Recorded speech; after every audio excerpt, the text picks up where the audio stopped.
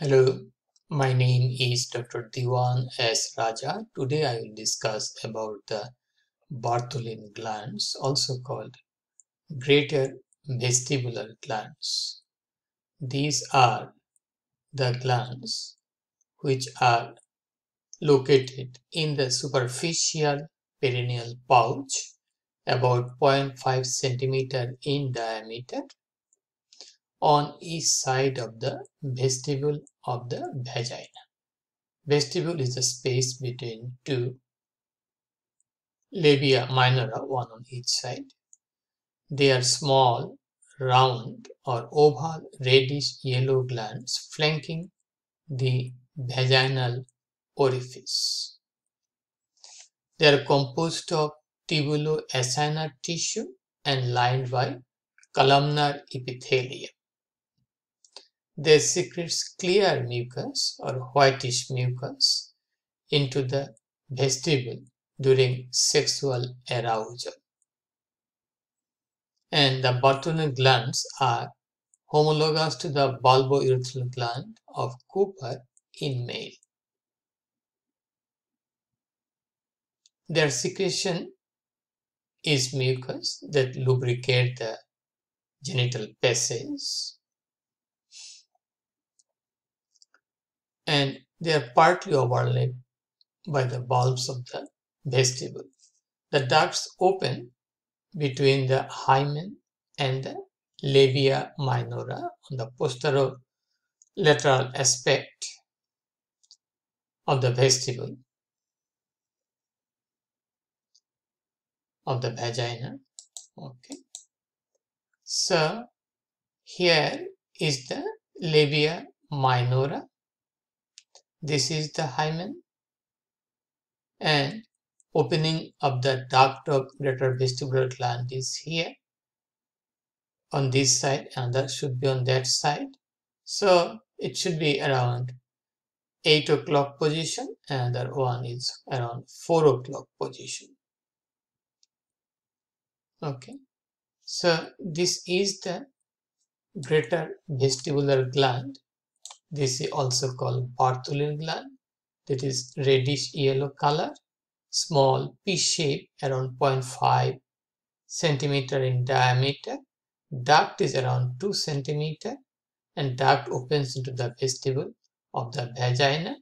The in between the hymen and the labia minora. This labia minora, this is the hymen. And this is the opening of the greater vestibular gland. And this is the bulb of the vestibule. So we got the greater vestibular gland. Its duct and that duct open between the hymen and the labia minora. So we'll go to the Bartholin cyst what is cyst? Cyst is the localized collection of fluid. Okay. Abscess. Abscess is the collection of pus. Okay. So cyst may be infected and it may lead to pus. Bartholin gland may be infected resulting in Bartholin abscess. Infection may be due to sexually transmitted disease infect, infective agents or it may be just by staphylococcus or other regions. So not necessarily it is STD. Bartholin cyst may develop due to blockage of the Bartholin duct due to any region. May happen in any age group and it has a recurrence tendency. So someone may develop Bartholin cyst or abscess maybe repeatedly in some individual.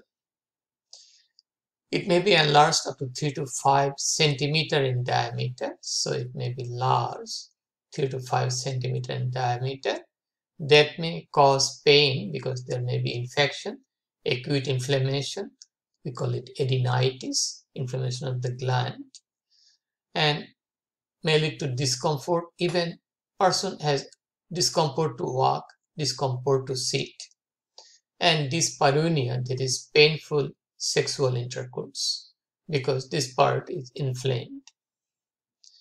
management by drainage of the fluid or abscess, marsupialization, permanently stitching the, the lining of the cyst with that of the skin or removal of the cyst depend on the condition and the choice of the gynecologist. Adenocarcinoma may develop in the Bartholin gland because it is lined by the glandular epithelium that is columnar epithelium that may develop into adenocarcinoma.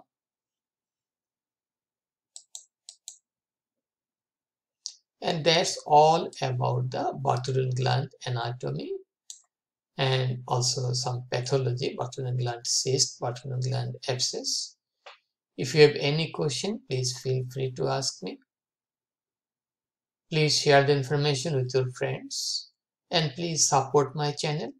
Please subscribe me and have a nice day. Bye now.